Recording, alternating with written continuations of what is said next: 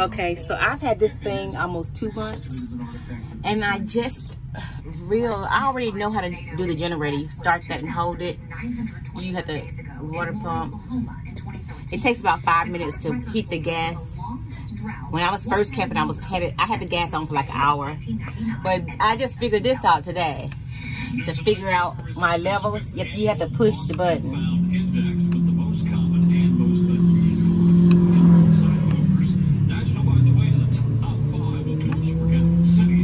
So my gray tank is one third. My black tank is one third. My fresh water is two thirds. My battery is two thirds.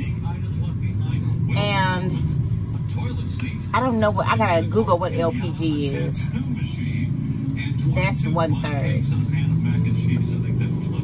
So that's how I, I always look up here and like, how do I check my levels? Now I don't really, don't know what the hours are right here. That 14.4, I don't know what that is.